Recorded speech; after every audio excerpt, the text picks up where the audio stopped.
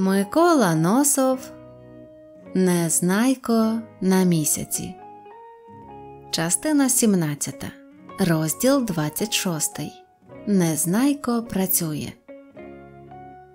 Становище, в якому опинилися Незнайко з козликом, було надзвичайно кепське. Їм ніяк не вдавалося влаштуватись на роботу, і вони буквально пропадали без грошей. За прикладом інших безробітних, вони зранку до ночі тинялись у тій частині міста, де були багаті магазини. Побачивши, що біля магазину зупинився автомобіль якогось багатого покупця, вони щодуху кидалися, щоб відчинити дверцята і допомогти багачеві вилізти з машини. А коли багач повертався з магазину, допомагала йому донести покупки і повантажити їх у багажник. За це багачі інколи давали їм дрібну монетку. Заробивши у такий спосіб трохи грошей, друзі відкладали 10 сантиків на ночівлю, а на решту грошей вечеряли в якій-небудь дешевенькій їдальні. Обідати й снідати в ці дні їм вдавалося рідко. Козлик казав, що коли доводиться переходити на одноразове харчування, то найкраще харчуватися ввечері перед сном, бо якщо проїсти свої гроші вдень або вранці то до вечора все одно знову зголоднієш і вночі не зможеш заснути. У гидинському закутку вони жили вже не на мінус другому поверсі, а на мінус четвертому, бо за місце на полиці там брали не 10, а лише 5 сантиків. Проте життя на мінус четвертому поверсі мало чим відрізнялося від життя на мінус другому. Просто там було більше бруду, більше галасу більше смороду, більше тісняви і більше блощиць. Єдине, чого там було менше, це свіжого повітря. Що ж до пацюків, то їх було стільки, що вночі неможливо було злізти з полиці, не наступивши якомусь пацюкові на хвіст.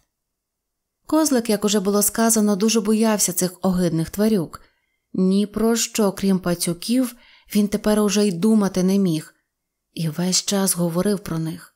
Уночі йому часто снилося, ніби його кусає за шию пацюк, і він, пойнятий жахом, прокидався, і наяву йому весь час вижалися пацюки, навіть у таких місцях, де їх і не було.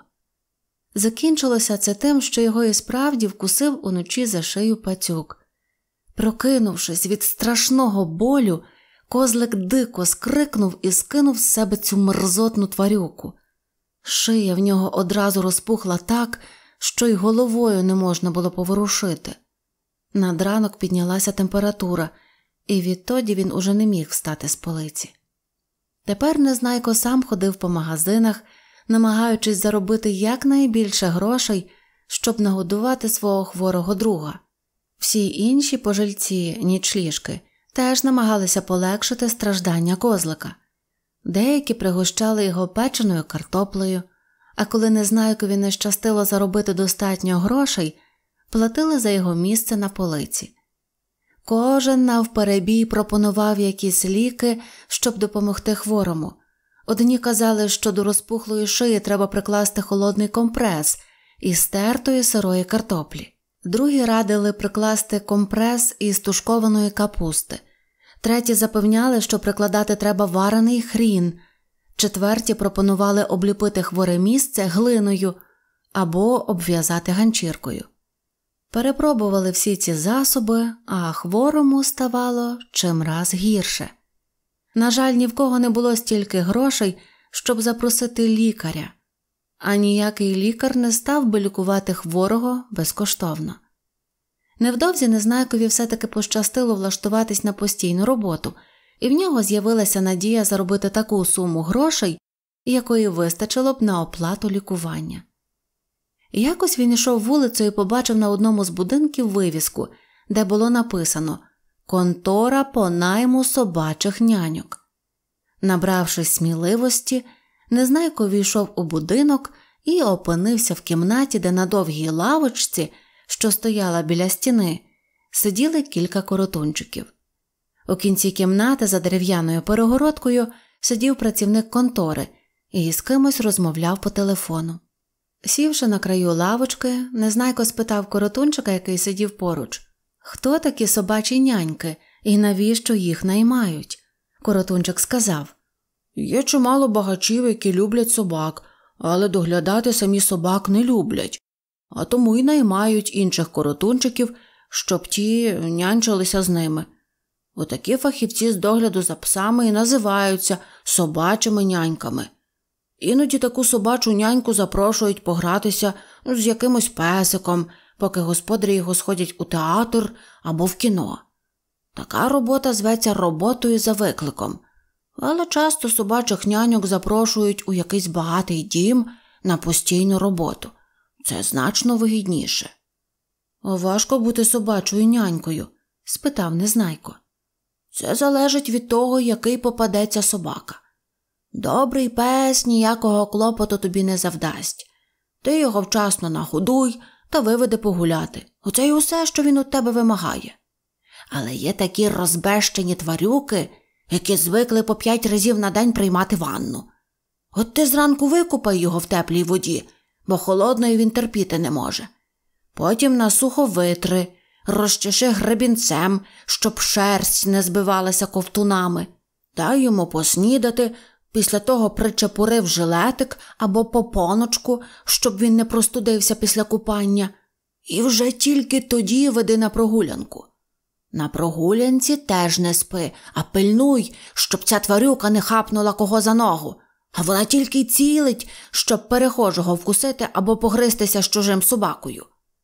Після прогулянки веди його в перукарню. Там йому зроблять манікюр, шерсть пострижуть, накрутять кучерики, писок наодеколонять так, що від нього за кілометр духами тхне, наче від якоїсь панії. А хіба пускають собаку перукарню? здивувався Незнайко. А як же? підтвердив коротунчик. Є спеціальні собачі перукарні, та й не тільки перукарні. Є спеціальні собачі магазини, що торгують усякими собачими делікатесами, собачі ресторани, закусочні кондитерські, спеціальні собачі спортзали і спортмайданчики, басейни для плавання і стадіони. Є пси, які люблять бігати на випередки на таких стадіонах. Їх за це нагороджують медалями. Є також любителі водного спорту, що беруть участь у запливах або грають у водне поло. Але є й такі пси, які самі займатися спортом не люблять, зате люблять дивитися на різні собачі змагання. Я чув, що в місті Давилоні навіть театр збудували для собак. Правда, правда, підхопив другий коротунчик. Одного разу я був у тому театрі. Дуже цікаве видовище. Кажуть, що собак найбільше цікавлять спектаклі з участю нишпорок, які ловлять злочинців і розкривають різні злочини. Особливо їм подобаються п'єси, де поряд із нишпорками беруть участь шукачі собаки. Один мій знайомий розповідав про те, начебто медичні дослідження показали, що собаче самопочуття значно поліпшується після того, як пес побуває в собачому театрі або подивиться змагання у собачому спортзалі. Але в цьому ділі треба дотримуватись поміркованості, бо надто часті відвідини собачих змагань можуть розладнати собачу нервову систему. Деякі пси так сильно хвилюються, дивлячись на якісь там собачі перегони, що потім кепсько сплять, смикаються у вісні і навіть можуть втратити апетит. Я теж колись доглядав собаку, який жив у дуже багатому домі, встряв у розмову третій коротунчик. До цього собаки був представлений спеціальний лікар, який стежив за його здоров'ям і лікував від ожиріння. Пес завів моду давати хропака цілими днями, а це було для нього шкідливо. От лікар наказав мені весь час його тривожити і не давати спати. Мені раз по раз доводилося стягати його з постелі, а він за це на мене злився і нещадно кусав. Лікар вважав, що для собаки це якраз корисно, бо примушувало його якось рухатися, а від цього він міг схуднути. А проте собака не худнув, замість нього худнув я, і до того ж ходив завжди покусаний. Зрештою, він усе таки здох від ужаріння незважаючи на повсякденну лікарську допомогу. Саме в цей час двері відчинились, і в контору війшов великий білий пудель із заплетеною в кіски гривою і пухнастою китичкою на хвості. Він утягнув за собою на ланцюжку хазяйку в пишному рожевому платі і великому модному капелюшку, схожому на кошик з квітами. Слідом за хазяйкою в контору війшла служниця, на руках у якої сидів невеличкий кирпатий цуцик, з голови до хвоста вкритий руденькими кучериками. Мені потрібна хороша няня для двох моїх чарівних крихіток, сказала хазяйка працівникові контори, який, побачивши багату відвідувачку, вискочив із за своєї загородки. Будь ласка, пані. Вигукнув він, розпливаючись в усмішці. В нашій конторі завжди є дуже багатий вибір обслуговуючого персоналу для собак найрізноманітніших і найблагородніших порід. Ви їх усіх бачите перед собою. Кожного з них можна назвати найщирішим другом звірів, фахівців свого собачого діла, ентузіастом, так би мовити, кімнатного і декоративного собаківництва. Всі вони обізнані з правилами хорошої поведінки, мають вишукані манери і прекрасно виховані. Встати, мугирі! прошепів він повернувшись до коротунчиків, які сиділи на лавці. Всі слухняно встали. Кланяйтесь, пані. Всі вклонились, і незнайко теж. Вам залишається, пані, вибрати того, хто більше сподобається. Справа тут не в мені, сказала хазяйка.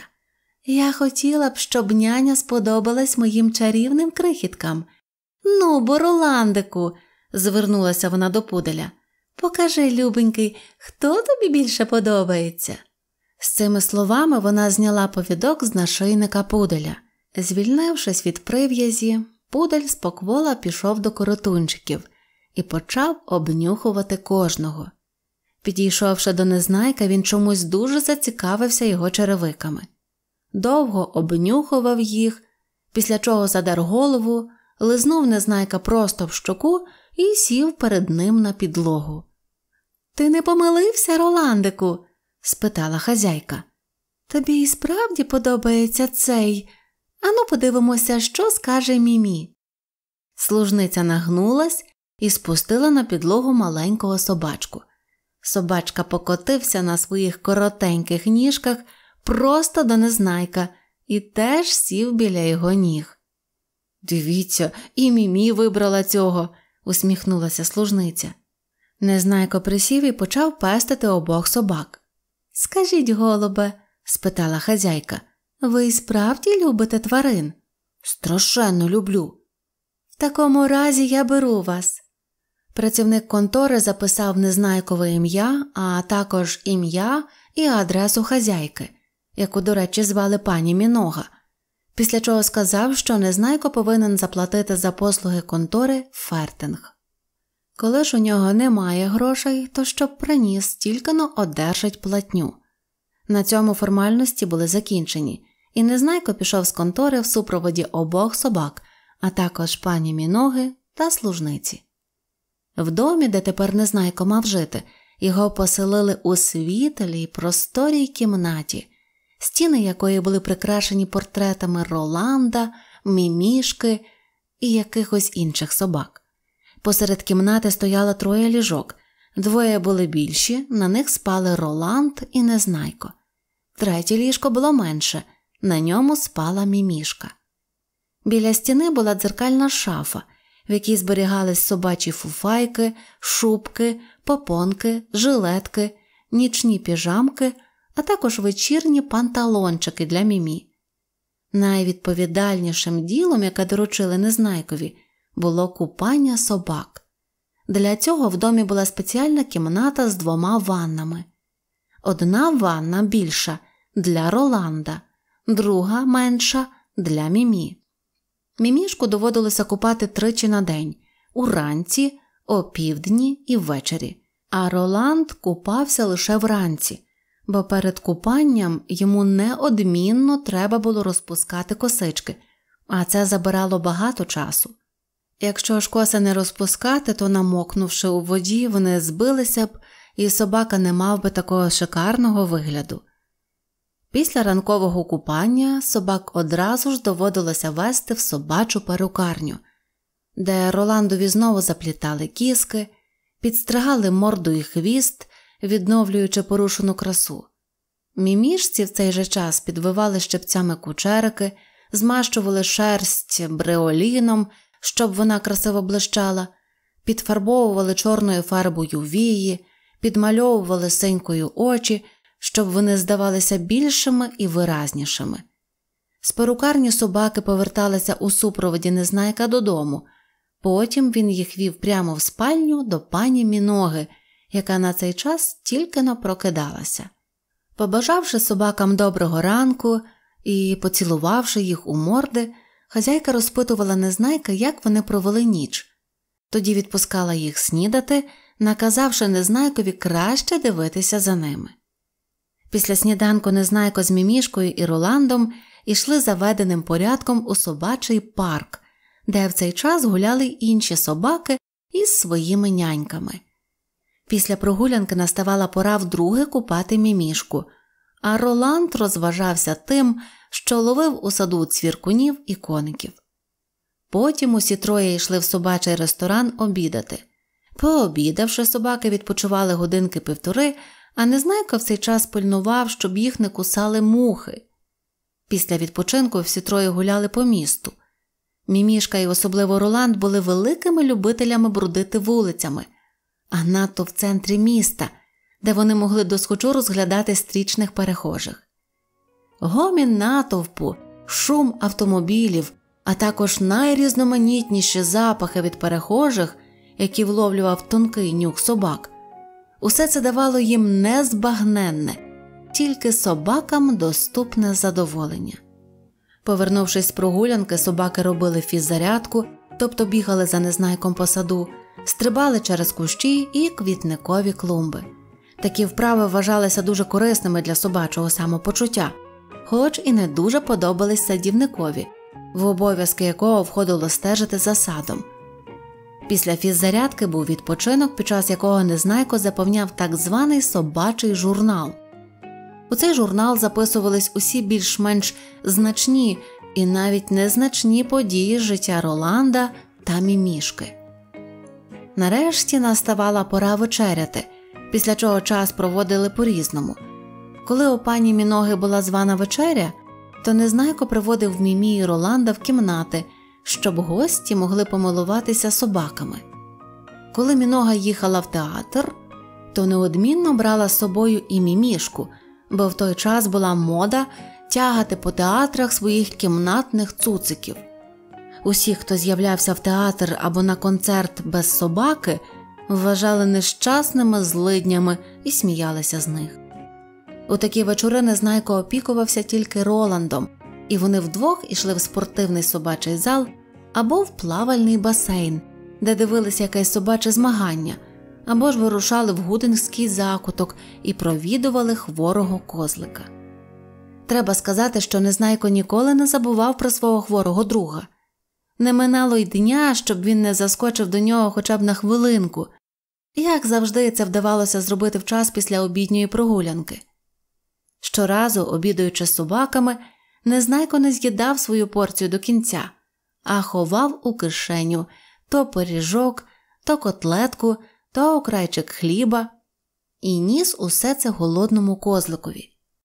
Першого ж дня він звернувся до пані Міноги з проханням заплатити йому хоча б за тиждень наперед, бо йому треба допомогти хворому приятелеві, який перебував у гудинській нічліжці.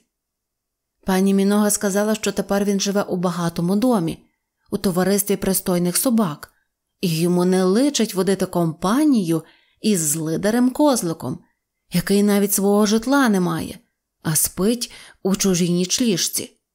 Ні про яких таких козликів я не хочу чути, сказала вона. Якщо ж ви при мені, або при мімішці з Роландом вимовити якесь непристойне слово на взірець нічліжки, я вас звільню. Що ж до платні, то ви одержуватимете її раз на тиждень, тільки не наперед, а як мине тиждень. Справді, як тільки минув тиждень, хазяйка заплатила незнайкові п'ять фертингів. Для нього це була велика радість. Другого дня, під час післяобідньої прогулянки з собаками, він зайшов у лікарню і запросив до козлика лікаря. Лікар уважно оглянув хворого і сказав, що його найкраще було б покласти в лікарню, бо хвороба дуже занедбана. Довідавшись, що за лікування в лікарні доведеться заплатити 20 фертингів, Незнайко страшенно засмутився і сказав, що він одержує всього лише 5 фертингів на тиждень, і йому потрібен буде цілий місяць, щоб зібрати таку суму. Коли протягти ще місяць, то хворому вже не допоможе ніяка медицина, мовив лікар. Щоб урятувати його, потрібне негайне лікування. Він дістав олівець і клаптик паперу і почав робити якісь розрахунки. Ось, сказав він нарешті, я приходитиму двічі на тиждень і робитиму хворому уколи. За кожен візит будете платити мені по півтора фертинга. Решта грошей піде на ліки. Думаю, що тижнів за три ми зможемо поставити хворого на ноги. Він одразу ж виписав багато рецептів.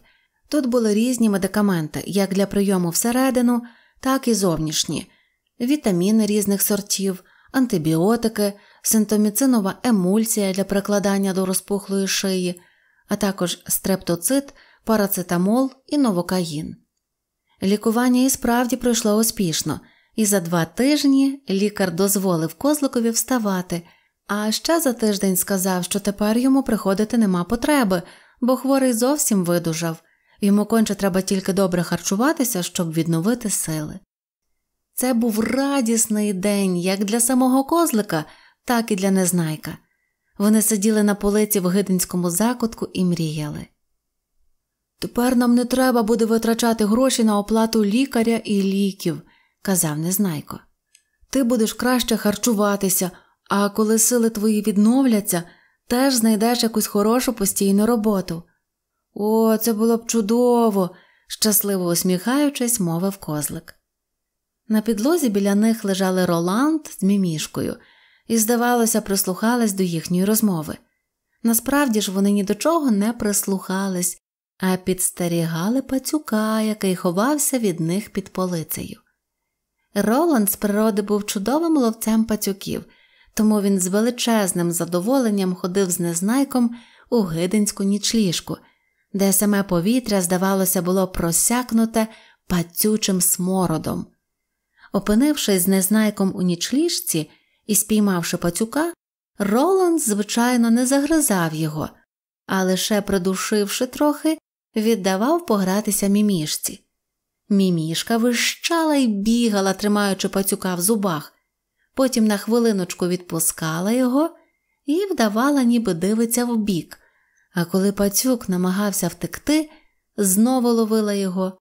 Все це страшенно розважало мешканців нічліжки, які тепер щодня з нетерпінням чекали, коли прийде незнайко зі своїми собаками. Радість незнайка і козлика була недовгою. Пані Мінога вже давно звернула увагу на те, що від її улюбленої мімішки почало чомусь тхнути пацюками. Запідозривши недобре, вона подзвонила по телефону в контору розшуку і дала завдання простежити, де буває незнайко, гуляючи з собаками. Власник контори доручив цю справу досвідченому нишпорці панові біглю, який невідступно слідкував за незнайком три дні після чого подав докладний звіт про його дії. Вивчивши той звіт, власник контори розшуку повідомив Міногу про точну адресу гидинського готелю і час, коли незнайко буває там із довіреними йому собаками. Діставши цю звістку, пані Мінога мало не зомліла. Дізнавшись від покоївки, що незнайко недавно пішов на прогулянку, вона негайно викликала з розшукової контори нишпорку бігля і звеліла йому відвести її разом з покоївкою туди, де він бачив незнайка з її улюбленцями. І ось саме в ту мить, коли незнайко і козлик мріяли, а мімішка гралася з пацюком, якого щойно спіймав для неї Роланд, двері відчинились, і в нічліжці з'явилась пані Мінога в супроводі покоївки і нишпорки бігля. Побачивши Роланда, який розлігся на брудній підлозі біля ніг незнайка, і свою улюблену мімішку з огидним пацюком в зубах, пані Мінога заверещала і, закотивши очі, впала на підлогу. Нишпорка перелякався і, взявши міногу за талію, почав щосили трясти її, а покоївка тим часом бризкала їй в обличчя одеколоном.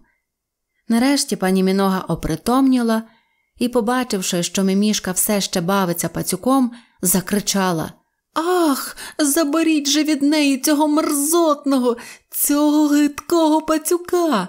Дайте мені сюди, дайте зараз же. Нишпорка Бігель миттю підскочив до мімішки і, відібравши у неї напівдохлого пацюка, шанобливо подав його хазяйці. Що це? Ідіть геть. завищала мінога, відпихаючи від себе пацюка і тіпаючись усім тілом.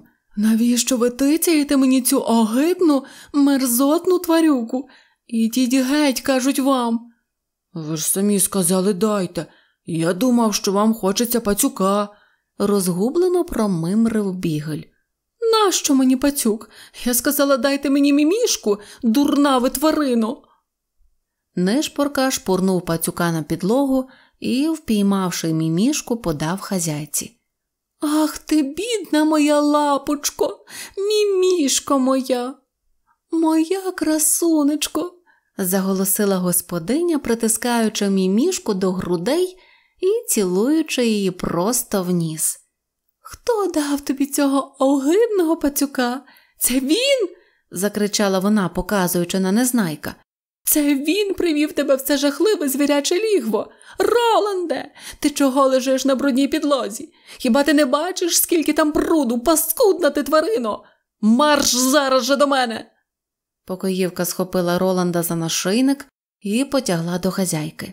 Ходімо зараз же звідси, кричала мінога. Тут бруд, тут мікроби, собаки захворіти можуть. А ви, мерзенна тварино, ви звільнені закричала вона, звернувшись до незнайка. Не смійте з'являтися до мене. Я не потерплю, щоб ви водили собак по різних розбійницьких кублах. Я вас до суду віддам, недолюдку, мерзотневу істоту. Вона галасувала доти, доки зникла за дверима зі своїми собаками. Незнайко не міг навіть слова сказати на свій захист. Та й що він міг сказати? Розділ 27. Під мостом.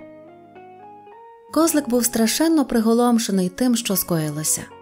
Це все через мене, казав він. Якби я не захворів, нічого не сталося б.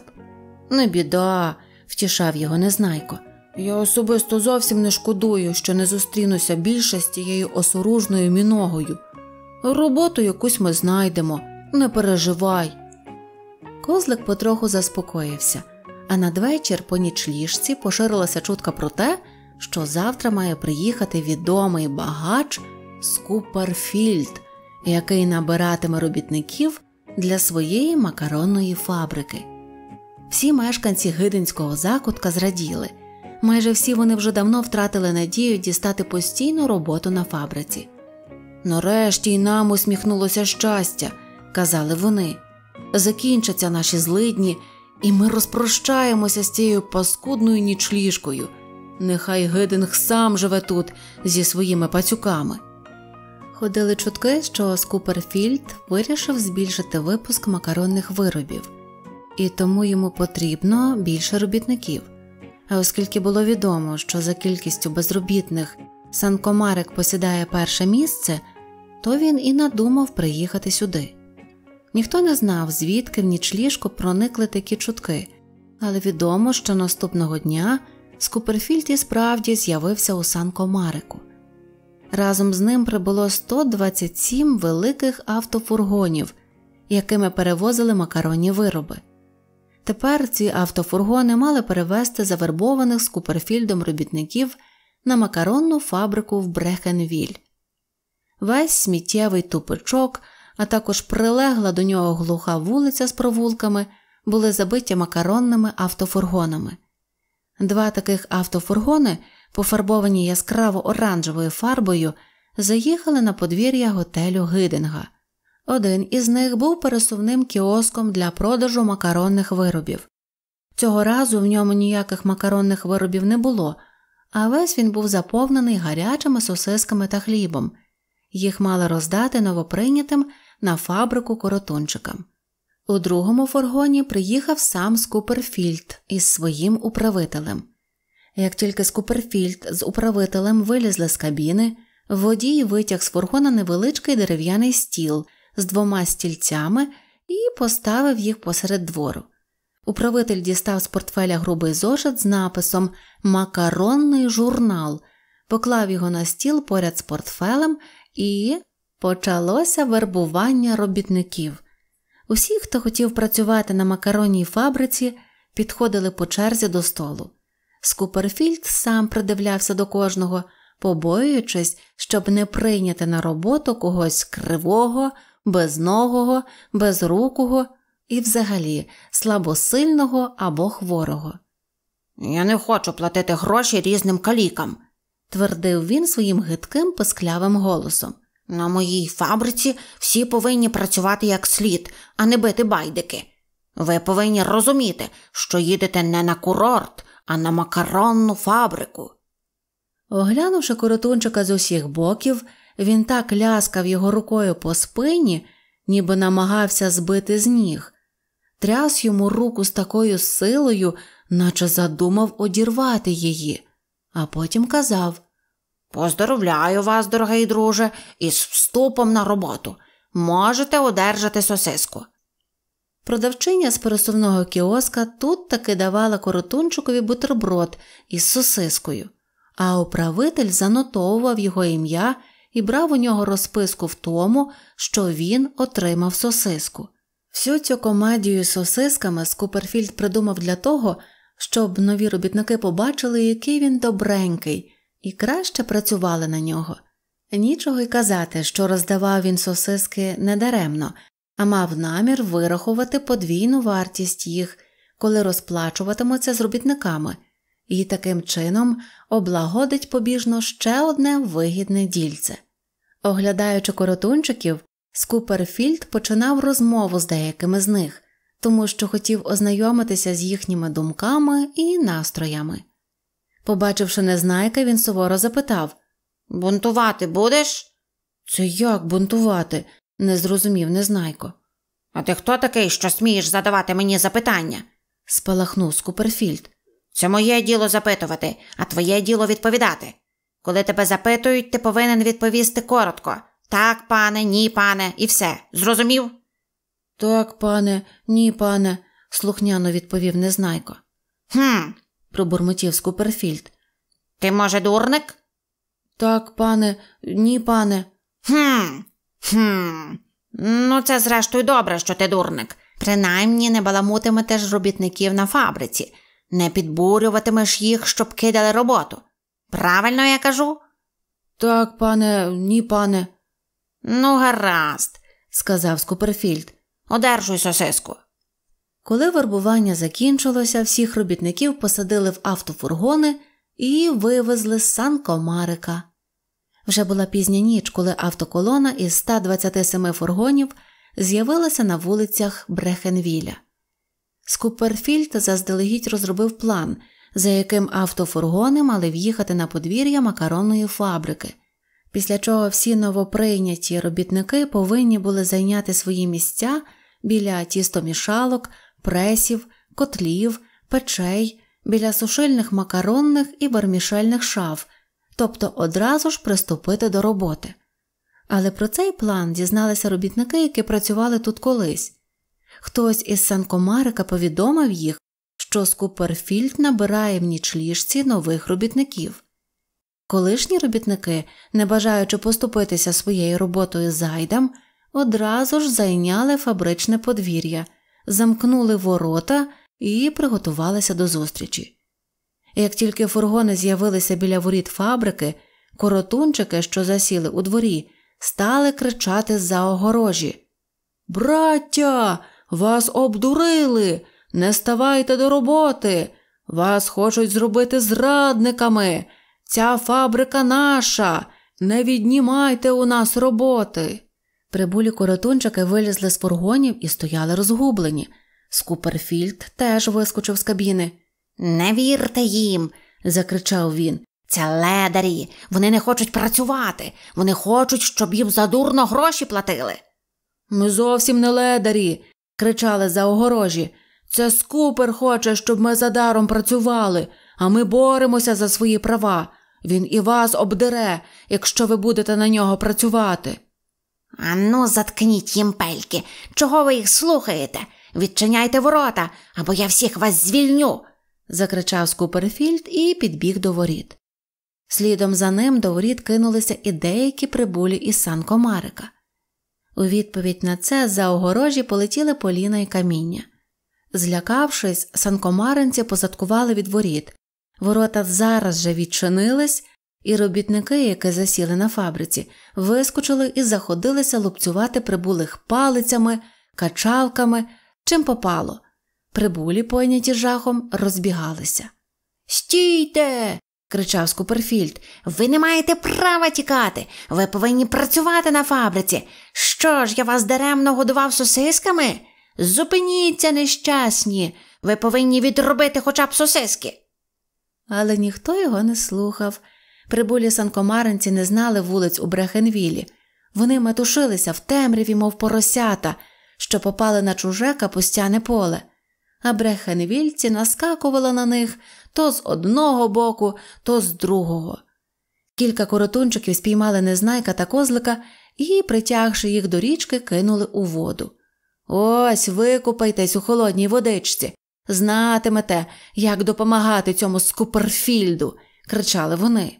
Незнайко і козлик мало не захлинулись у воді, а коли вилізли на берег, то побачили, що в незнайка потонули в річці черевики, а в козлика зник капелюх. Це найгірше, що могло з нами трапитися, сказав козлик, тремтячи від холоду. Тепер нам лишилося тільки попасти до поліцейських у лапи і опинитися на острові дурнів. Вони з незнайком вирішили посидіти на березі до ранку, а коли розвиднеться, пошукати в річці зниклі речі. Як тільки розвиднілось, незнайко та козлик роздяглися і полізли у воду. Вони пірнали, поки не посиніли від холоду, але ні черевиків, ні капелюха так і не знайшли. Очевидно, їх віднесло течією. Місто незабаром прокинулось. На набережній з'явилися перехожі. Щоб не попасти на очі поліцейським, незнайко та козлик пішли вздовж берега і сховалися під мостом. У такому вигляді нам не можна йти в місто, сказав козлик. Перший стрічний поліцейський схопить нас. Краще ми зробимо так ти даси мені свій капелюх і посидиш тут, поки я роздобуду щось попоїсти. Краще ти дай мені свої черевики, а сам посидь тут, сказав незнайко. Тобі після хвороби важко багато ходити. Козлик відповів, що йому не важко, але незнайко наполягав на своєму. Але з його пропозиції, однак, нічого не вийшло, бо виявилося, що козликові черевики на нього замалі. Добувати їжу довелося піти все таки козликові, а незнайко лишився сидіти під мостом без капелюха і босоніж. Сидіти під мостом самому було нудно, тому Незнайко напружував усі свої розумові здібності, щоб придумати яку-небудь розвагу. Спершу він проспівав усі пісеньки, які знав, потім загадав сам собі всі відомі йому загадки і розгадав, потім почав згадувати прислів'я і приказки, як от кому пироги й млинці, а кому гулі та синці, голодній курці просо на думці, або голодному й вівсяник добрий. Усього цього, правда, йому вистачило ненадовго, і він заходився перебирати в пам'яті різні випадки із свого життя, згадував усіх своїх друзів та знайомих. Непомітно в голові його спливла загадка про пончика. Незнайко уявляв собі, що пончик і досі сидить у ракеті і страшенно журився, що нічим не може йому допомогти. Він згадав, що пончик дуже любив попоїсти. Коли б це не довело його до біди, подумав Незнайко, хоч би він не прикінчив усіх запасів, перш ніж наспіє допомога. Скоро голод почав так мучити Незнайка, що він уже ні про що не міг думати. Тільки одна думка крутилася тепер у нього в голові де ж подівся козлик? Чому він не повертається? Щоб погамувати голод, Незнайко знову почав співати пісні, пригадувати приказки, загадувати і розгадувати загадки. До кінця дня його терпіння геть вичерпалося. Він уже вирішив вилізти із своєї схованки і піти шукати козлика, але в цей час помітив, що під міст спускається з гори якийсь коротунчик. Спершу Незнайко подумав, що то козлик, але, придивившись, побачив, що то не козлик. Коротунчик тим часом підійшов ближче і, побачивши Незнайка, спитав Ти що тут робиш? Сиджу, відповів Незнайко. Щось я тебе тут раніше не бачив. Мабуть, тому що я тут не сидів, пояснив Незнайко. Ти новачок, чи що? Як це новачок? Ну, новенький. Перший раз під мостом ночуєш. Хіба я ночую? здивувався Незнайко. Чого ж ти заліз? Хіба не ночувати? Ні. Незнайко хотів розповісти про те, що з ним сталося, але знову почулися кроки, і під мостом з'явилося ще кілька коротунчиків. Гей, клюкво, пекарю, горішку. закричав перший коротунчик. Дивіться, дивачок якийсь. Заліз під міст, а каже, що не ночувати прийшов. Коротунчики оточили незнайка. Якийсь підозрілий тип, мовив той, кого звали клюквою. Мабуть, переодягнутий нишпорка, пробурмотів пекар. Одлупцювати б його та в воду, сказав горішок. Братики, я зовсім не нишпорка, почав запевняти незнайко. Пустіть мене, мені треба йти шукати козлика. Якого ще козлика? спитав підозріло пекар. Не пускайте його, а то він піде і скаже поліцейським, що ми тут ночуємо. Незнайко почав розповідати коротунчикам про все, що сталося з ним і з козликом. Коротунчики зрозуміли, що це правда. Ну, гаразд, сказав клюква. Тобі все одно нікуди не можна йти в такому вигляді. На тобі ж нема ні черевиків, ні капелюха. Поліцейські одразу схоплять тебе. Завтра ми роздобудемо тобі якусь взуванку та шапку, тоді йди. А козлик твій, напевно, просто обманув тебе. Як обманув? здивувався Незнайко. Ну, взяв твого капелюха і втік із ним, адже без капелюха йому по місту гуляти не можна, пояснив горішок. Ні, братики, козлик не такий, він мій друг. Знаємо ми, які друзі бувають, пробурчав пекар. Тим часом настав вечір.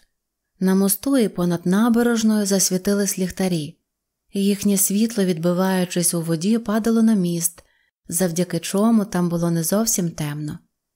Коротунчики лягали спати. Вгорі під укосом, де чавунні арки мосту спиралися на кам'яні підпори, було дуже багато тайників.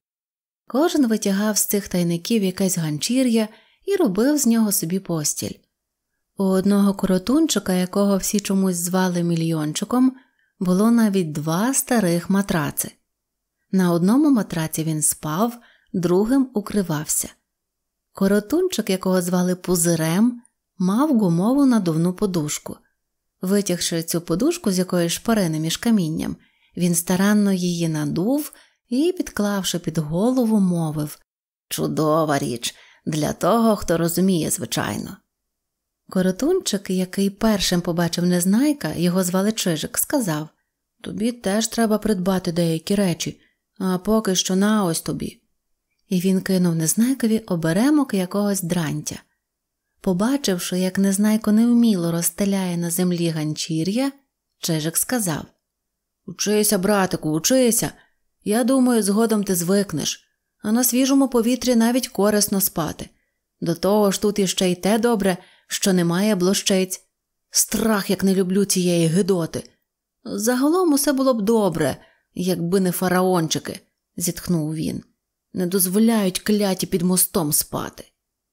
Усі нарешті вляглися, а пузир навіть почав хропіти на своїй надувній подушці. От що значить із комфортом спати, сказав клюква, усміхаючись. Несподівано осторонь почувся шерхіт. Хтось обережно спускався з укосу. Тихше. прошепотів горішок, підвівшись із землі. До нас хтось лізе. «А що, як фараончик? припустив клюква. Усі захвилювалися, крім пузиря, який спав. Може, ноги на плечі? спитав мільйончик, виповзаючи з під свого матраца. Схопимо його, а там видно буде, відповів клюква. Коротунчики принишкли, припавши до землі. Якась чорна постать замаячила на тлі річки, що поблискувала в темряві, і почала пробиратися під міст. Тільки но постать наблизилась, пекар і клюква схопились і, збивши її з ніг, накрили матрацом. А тепер що робити? спитав мільйончик, навалюючись усім тілом на матрац. Відлупцювати і в воду, виніс свій присуд горішок. Стривайте, може, це не фараончик, сказав клюква. Мільйончик стукнув кулаком по матрацу і спитав Признавайся, ти фараончик? З під матраца почувся жалібний писк. Я козлик. Братики, та це ж козлик повернувся. вигукнув Незнайко. Матрац умить стягли, і Незнайко кинувся обнімати свого друга. Чому ти так довго не приходив, козлику? Та я розумієш, усе біля магазинів вештався, думав, що хоч щонебудь зароблю. Та так і не заробив ні сантика. Бачиш, сам голодний і тобі нічого не приніс. Диви, а ми думали, що козлик утік, раділи коротунчики. А пекар сказав Братики, може, у кого знайдеться шматочок хлібця, треба ж дати їм попоїсти. Пузир, який щойно прокинувся і здивовано поглядав навкруги, дістав за пазухи окраєць хліба. Розламавши хліб навпіл, він подав обидві половинки незнайкові й козликові. Двоє друзів почали з апетитом уминати хліб. Коротунчики сиділи довкола і, всміхаючись, дивилися на них. Дивіться, братики, сказав клюква. Виходить, є дружба на світі. І всім від цих слів стало так гарно, що ніхто навіть спати не хотів лягати.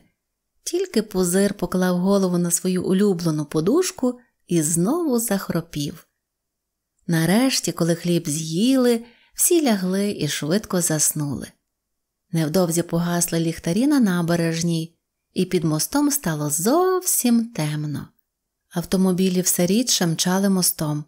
Нарешті рух припинився зовсім. А через півгодини до мосту тихо підкотив чорний поліцейський фургон з грубими залізними ґратами на малесеньких віконцях. З фургона вискочили десять поліцейських на чолі із старшим поліцейським рвиглем.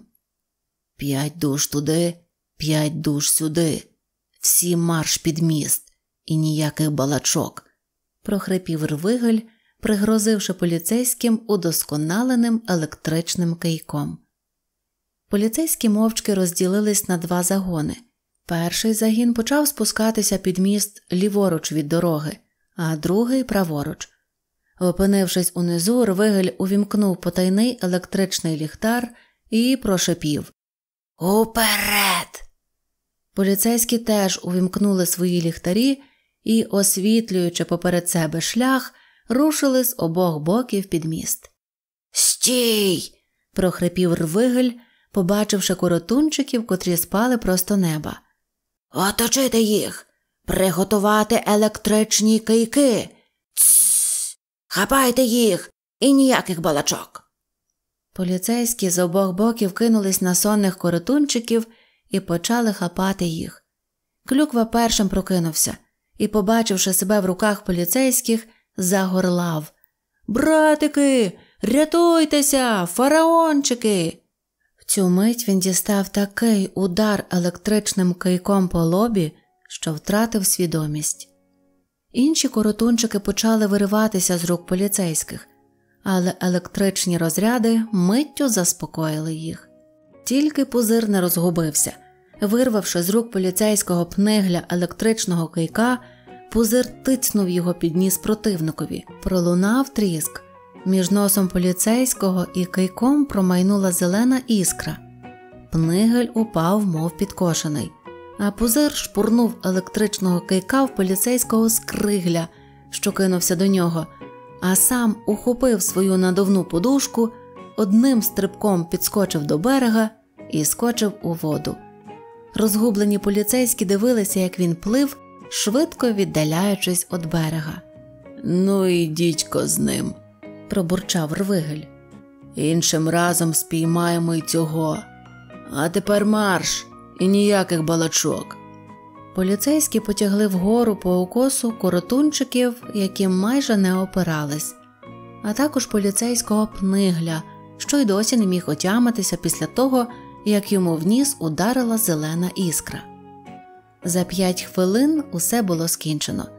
Поліцейський фургон поїхав, а під мостом лишилася купа ганчір'я і два старезних матраци, з яких на всі боки стирчала солома. Кінець 17 частини. Далі буде. Підписуйтесь на канал Світ Казок, ставте пальчики вгору і скоро почуємось!